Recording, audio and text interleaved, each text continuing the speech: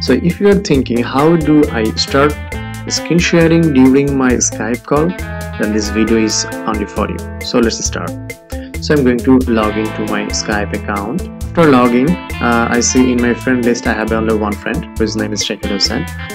Just I'm going to make a call. So when he will receive my call I will able to share my screen with him. So he received my phone call uh, it's showing the time duration how much time he is uh, speaking with me. Uh, now I'm going to share my screen with my friend. Uh, first let's uh, say hi. So just I inform him I will share my screen with uh, my friend and he said okay.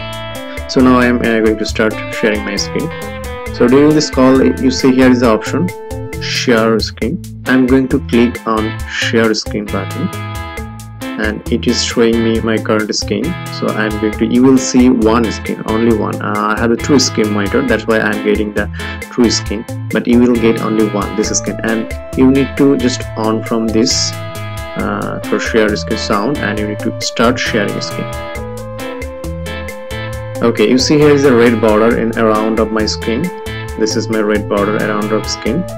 Uh, that means my skin is sharing on. This is how you can share your screen during the Skype call time. Thank you for watching this video. If you have any question, feel free you can ask me. I'll try to answer.